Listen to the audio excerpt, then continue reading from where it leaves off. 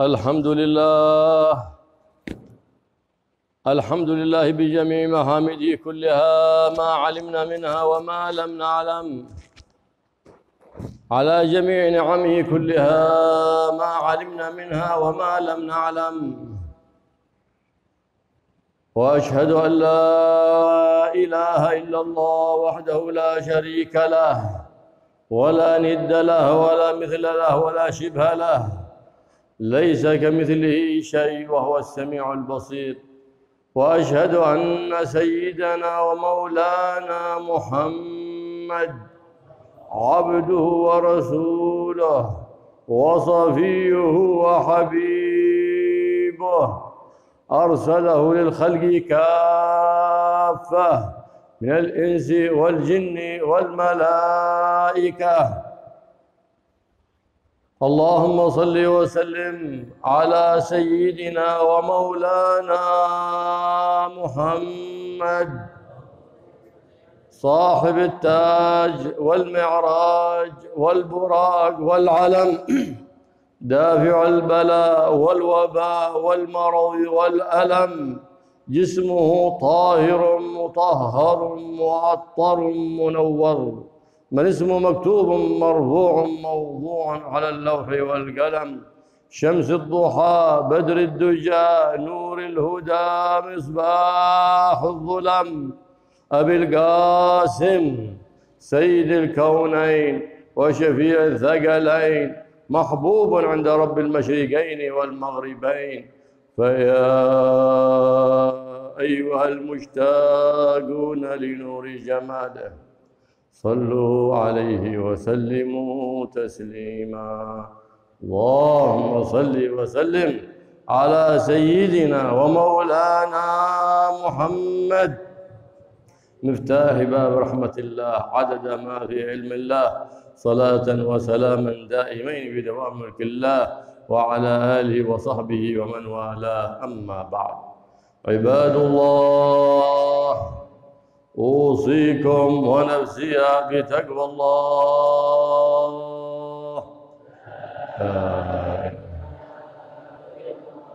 فقد فاز المتقون بخير الدنيا ونعيم الآخرة.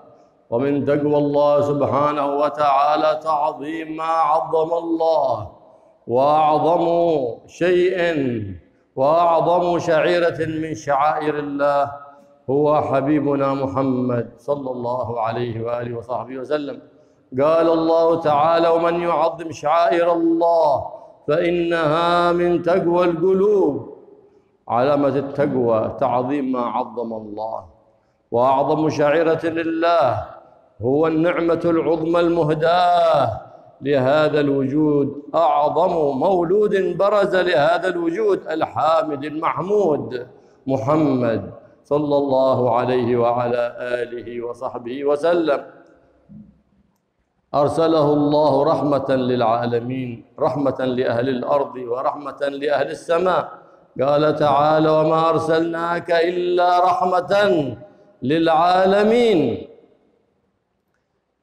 أرسله رحمة للوجود بأجمعه فأعظم هذا النبي العظيم. الرؤوف الرحيم محمد صلى الله عليه وآله وصحبه وسلم فإن الله سبحانه وتعالى عظمه وكرمه وجعله أفضل عبيده. فقد قال صلى الله عليه وآله وصحبه وسلم أما إني لأتقاكم لله وأخشاكم لله وهو أفضل خلق الله محمد بن عبد الله صلى الله عليه وعلى آله وصحبه وسلم.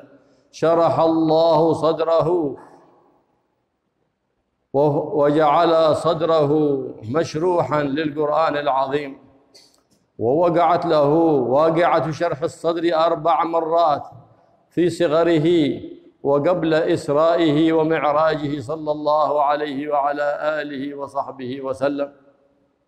فإن الله سبحانه وتعالى شرح صدره ورفع ذكره. فما من موطن يجب فيه ذكر الله إلا ويجب فيه ذكر حبيبه ومصطفاه محمد بن عبد الله صلى الله عليه وآله وسلم. وما من موطن يندب فيه ذكر الله إلا ويندب فيه ذكر حبيبه ومصطفاه محمد صلى الله عليه وآله وصحبه وسلم. فقد رفع الله ذكره في الأرض ورفع ذكره في السماء بل وجعل الجنان شعارها لا إله إلا الله محمد رسول الله. فما من باب في الجنة إلا وعلى أعلاه مكتوب لا إله إلا الله محمد رسول الله. رفع الله ذكر هذا النبي العظيم وجعل في قوائم العرش مكتوب لا إله إلا الله محمد رسول الله. فقد جعل هذا النبي العظيم الرؤوف الرحيم محمد صلى الله عليه وآله وصحبه وسلم الشعار الأعظم للرحمة. ومن تلك الرحمة خلق الله الأنبياء خلق الله المرسلين خلق الله العباد الصالحين. من هذه الرحمة التي عمت الكون كله رحمة النبي محمد صلى الله عليه وسلم. فلهذا كان النبي محمد صلى الله عليه وآله وصحبه وسلم يعلم سيدتنا فاطمة الزهراء البتول هذا الدعاء المبارك الذي فيه التوسل بالرحمة.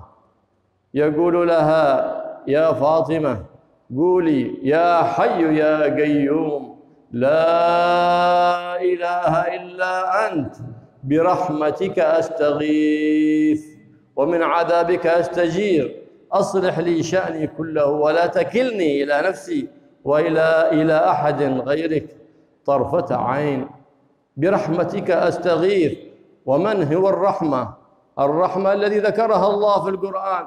وما أرسلناك إلا رحمة. التي ذكرها الله في القرآن في قوله سبحانه وتعالى قل بفضل الله وبرحمته. رحمة من؟ حبيبه ومصطفاه محمد بن عبد الله صلى الله عليه وآله وصحبه وسلم. فبذلك فليفرحوا. فإظهار الفرح بالنبي محمد صلى الله عليه وسلم. من أعظم العبادات المقربات لرب البريات سبحانه وتعالى لأن تعظيم الحبيب محمد من تعظيم الله وتوقيره من توقير الله سبحانه وتعالى وذكر النبي محمد من ذكر الله سبحانه وتعالى فمن أعظم أذكار الله الصلاة والسلام على حبيب الله محمد بن عبد الله صلى الله عليه وعلى آله وصحبه وسلم. فهذه مظاهر الفرح التي تكون في شهر ربيع الأول مظاهر يحبها الله ويحبها نبي الله محمد صلى الله عليه وعلى آله وصحبه وسلم. إذ أن ما يحب المظاهر العظيمة لهذا النبي العظيم وتعظيم هذا النبي العظيم والإكثار من الصلاة على النبي العظيم إلا من كان من أهل السنة والجماعة. ومن لم ينشرح قلبه بتعظيم النبي وتوقير النبي وكثرة الصلاة على النبي دل على أن في باطنه شيء من النفاق. دل على أن في باطنه خروج عن أهل السنة والجماعة والعياذ بالله. فهذا هو الحد الفاصل بين أهل السنة والجماعة وبين غيرهم في هذا الزمان الذي كثر فيه الافتتان وكثر فيه من يتكلم في الدين من النسوان والصبيان بغير علم. وإنما العلم المحمود هو المتصل بالحبيب محمد الحامد المحمود. هذا العلم الذي أثنى الله عليه في القرآن هذا العلم الذي أثنى النبي محمد صلى الله عليه وعلى آله وصحبه وسلم في حديثه العالي الشان. وهكذا ينبغي لنا أن نبحث عن تلك العلوم التي ينبغي لنا أن نتعلمها. فإن كل علم ليس مستند إلى علم النبي محمد صلى الله عليه وآله وصحبه وسلم فإنه علم منقطع.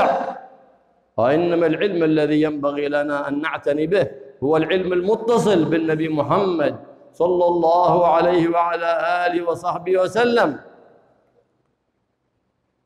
فإنه صلى الله عليه وعلى آله وصحبه وسلم يعز عليه كلما تكون في أمتي من شتات ومن أذى ومن بلاء. فلهذا عندما أراد الانتقال للرفيق الأعلى ما همه من أمر نفسه شيء إنما همه من أمر أمته. فقال في آخر سكرات الموت وهو ينازع الموت. يقول أمتي أمتي يناجي مولاه. سبحانه وتعالى في من؟ في نفسه لا في أمته. حتى أتاه جبريل الجليل ويقول له إن الملك الجليل يقرئك السلام ويقول لك إنا لن نخزيك في أمتك. فاطمأن قلب الحبيب محمد فاختار الرفيق الأعلى فكان آخر ما تكلم به الرفيق الأعلى. لأن الله قد خيره بين البقاء في الدنيا وبين الانتقال إلى الرفيق الأعلى فكان آخر ما تكلم به صلى الله عليه وآله وصحبه وسلم الرفيق الأعلى. الله سبحانه وتعالى شرح صدره ويسر أمره وأعلى ذكره وجعل ببركته صلى الله عليه وعلى آله وصحبه وسلم تقضى الحاجات وتستجاب الدعوات فإن من أقرب الوسائل ومن أعظم الوسائل لاستجابة الدعوات أن تجعل في أول دعائك الصلاة على النبي محمد وفي أوسط دعائك الصلاة على النبي محمد وفي آخر دعائك الصلاة على النبي محمد صلى الله عليه وعلى آله وصحبه وسلم. فقد قال صلى الله عليه وآله وصحبه وسلم لا تجعلوني كقدح الراكب. أي لا تقتصروا في الصلاة علي في آخر الدعاء فقط بل اجعلوا الصلاة علي في أول الدعاء وفي وسطه وفي آخره.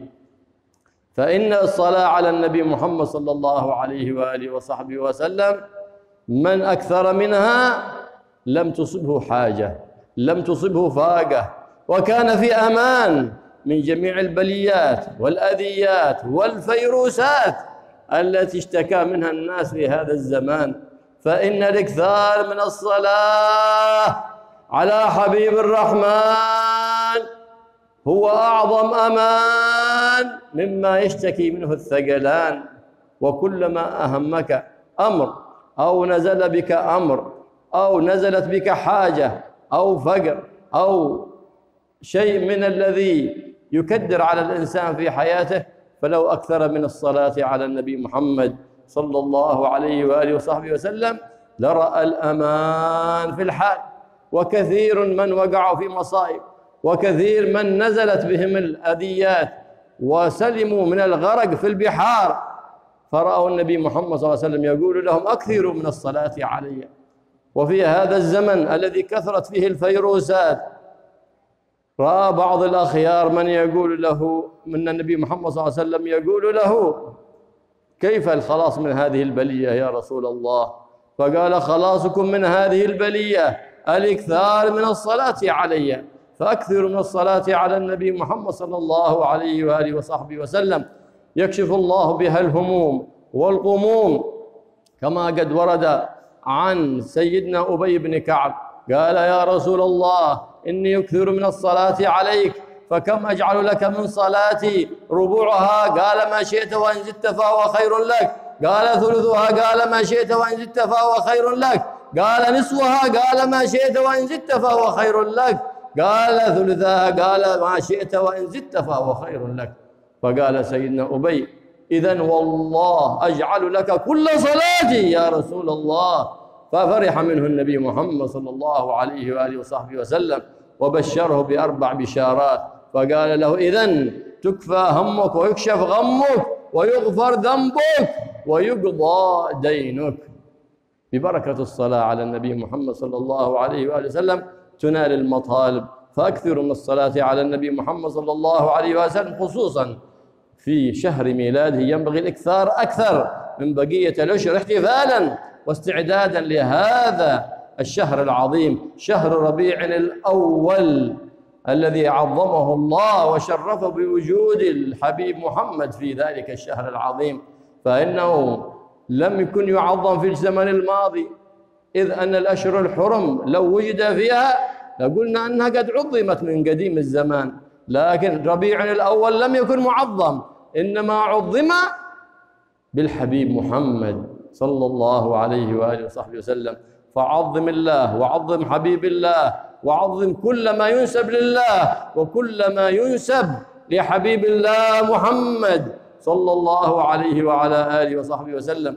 فالله يجعلنا وإياكم من المقتدين بهذا النبي العظيم من المحبين لهذا النبي العظيم.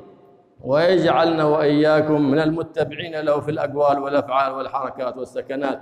فقد قال الله سبحانه وتعالى فإذا قرئ القرآن فاستمعوا له وأنصتوا لعلكم ترحمون. وقال تعالى فإذا قرأت القرآن فاستعذ بالله من الشيطان الرجيم. أعوذ بالله من الشيطان الرجيم. بسم الله الرحمن الرحيم. ألم نشرح لك صدرك ووضعنا عنك وزرك الذي أنقض ظهرك ورفعنا لك ذكرك.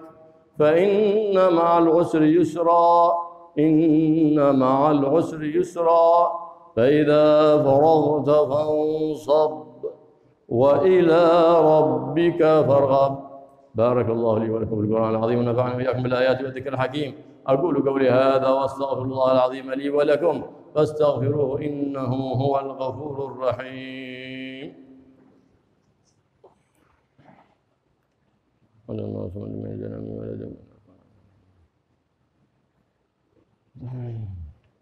الحمد لله الحمد لله رب العالمين حمدا يوافي نعمه ويكافئ مزيدا. يا ربنا لك الحمد كما ينبغي لجلال وجه عظيم سلطانك. سبحانك لا نحصي ثناء عليك أنت كما أثنيت على نفسك. فلك الحمد حتى ترضى ولك الحمد إذا رضيت ولك الحمد بعد الرضا. وأشهد أن لا إله إلا الله وحده لا شريك له الواحد الأحد الفرد الصمد الذي لم يلد ولم يولد ولم يكن له كفوا أحد. وأشهد أن سيدنا ومولانا محمد عبده ورسوله وصفيه وحبيبه الحبيب المحبوب العالي القدر العظيم الجاه الذي تتعشقه الأرواح وتحن إليه القلوب صلى الله عليه وعلى آله وصحبه وسلم.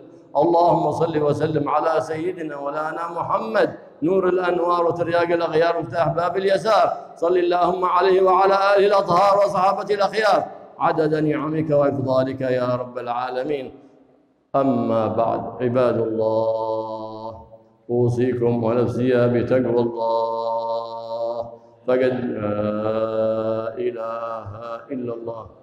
فقد فاز المتقون.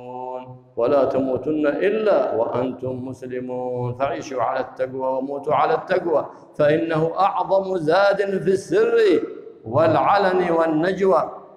والله يوفقنا وإياكم لتقوى في السر والعلن في الظاهر وفي الباطن ولا يكون لنا وجهان وجه بين الله فنجعل أهون الناظرين ووجه بين الناس فيرانا الناس كأننا من المتقين والعياذ بالله. فذو الوجهين مبغوض عند الله ويبعث يوم القيامة واحد شقيه ساقط نسأل الله العافية والسلامة. لكن الإنسان يجتهد في التوبة في كل أوان خصوصا في أوقات الاستجابة خصوصا في أوقات الأسحار كلما أحدث ذنبا يذكر أن له رب يغفر الذنب ويأخذ به. فأنت يرجع إلى الله فإن العبد إذا رجع إلى مولاه واستغفر قال له المولى عبدي علم أن له رب يغفر الذنب ويأخذ عبدي قد غفرت لك. فجددوا دائما استغفار فإن في الغفر كثرة الاستغفار أمان. مع انكسار مع تذلل مع اعتذار للعزيز الغفار سبحانه وتعالى. وأكثر من الصدقة في السر والإجهار في خصوصا في أزمان الفيروسات والبليات. فإن فيها شفاء من جميع الأمراض. فلهذا يقول النبي محمد صلى الله عليه وسلم داووا مرضاكم بالصدقة وحصنوا أموالكم بالزكاة. فكل من أصيب ببلاء أو مرض أو فيروس يتصدق لله صدقة فإن تلك الصدقة يشفى ببركتها وتدفع عنه البليات. فليقدم قبل أن يأتيه المرض صدقة فتكون له حماية ووقاية وبكسين من هذا البلاء النازل من الأرض أو الخارج الخارج من الأرض أو النازل من السماء وأكثر من الصلاة على النبي محمد صلى الله عليه وآله وصحبه وسلم. فإنها أمان من جميع البليات. فلو صبت السماء صبت السماء فيروسات. لكان المكثر من الاستغفار والمكثر من الصلاة على النبي محمد صلى الله عليه وسلم في أمان لا يصيبه أذى ولا بلاء. ببركة الاستغفار للعزيز الغفار وبركة الإكثار من الصلاة على النبي محمد صلى الله عليه وسلم. فإن الصلاة على النبي محمد صلى الله عليه وسلم هي الماحقة.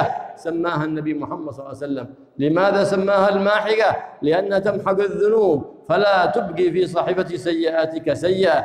فأكثر من الصلاة على النبي محمد صلى الله عليه وسلم. كيف لا نكثر من الصلاة عليه؟ وقد أمرنا الله سبحانه وتعالى بأمر بدأ فيه بنفسه وثنى بملائكته المسبحة بقدسه فقال تعالى مخبرا وآمرا تكريما إن الله وملائكته يصلون على النبي. يا أيها الذين آمنوا صلوا عليه وسلموا تسليما.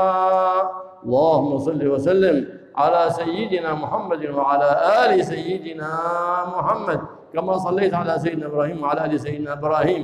وبارك على سيدنا مولانا محمد وعلى آل سيدنا ومولانا محمد.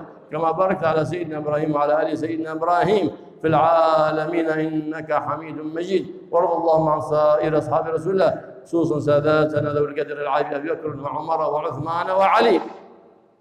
وعن سيدي شباب أهل الجنة أبي محمد الحسن وأبي عبد الله الحسين وعن أمهما فاطمة الزهراء البتول بضعة مولانا الرسول وعن أمها محبوبة الرسول سيدنا خديجة الفضلى محبوبة الرسول من خصها الله بالسلام فوق سبع سماوات وبشرها بقصر في الجنة من قصب لا صخب فيه ولا نصب وارض اللهم عن سائر أزواج رسول الله وعن سائر أصحاب رسول الله البيت رسول الله المهاجرون مع رسول الله وأنصار رسوله وعلى وعلى من تبعهم بإحسان إلى يوم الدين. اللهم ربنا آتنا في الدنيا حسنة وفي الآخرة حسنة وقنا عذاب النار. ربنا لا تزغ قلوبنا بعد إذ هديتنا وهب لنا من لدنك رحمة إنك أنت الوهاب. ربنا اغفر لنا ولإخواننا الذين سبقونا بالإيمان. ولا تجعل في قلوبنا غلا للذين آمنوا. ربنا إنك رؤوف رحيم. اللهم صلحنا واصلح بنا واصل من في صلاح صلاح للإسلام والمسلمين. اللهم لا تهلكنا واهلك من في هلاك صلاح للإسلام والمسلمين. اللهم انصرنا وانصر بنا وانصر سائر بلاد الإسلام والمسلمين. اللهم فرج على المسلمين. اللهم صل أمة مولانا محمد. اللهم فرج عن أمة مولانا محمد. اللهم استر أمة مولانا محمد. اللهم ربنا آتنا في الدنيا حسنة وفي الآخرة وقنا عذاب النار. ربنا اغفر لنا واغفر لنا سبقنا بالإيمان. اللهم لا تؤاخذنا إن نسينا أو أخطأنا. ربنا ولا تحمل علينا إصرا كما حملت على الذين من قبلنا. ربنا ولا تحملنا ما لا طاقة لنا به. واعف عنا واغفر لنا وارحمنا أنت مولانا فانصرنا على القوم الكافرين. عباد الله. إن الله يأمر بعد الإحسان وإيتاء ذي القربى عن الفحشاء والمنكر والبغي يعظكم لعلكم تذكرون فاذكروا الله العظيم يذكركم واشكروا نعمه يزدكم ولذكر الله أكبر والله يعلم ما تصنعون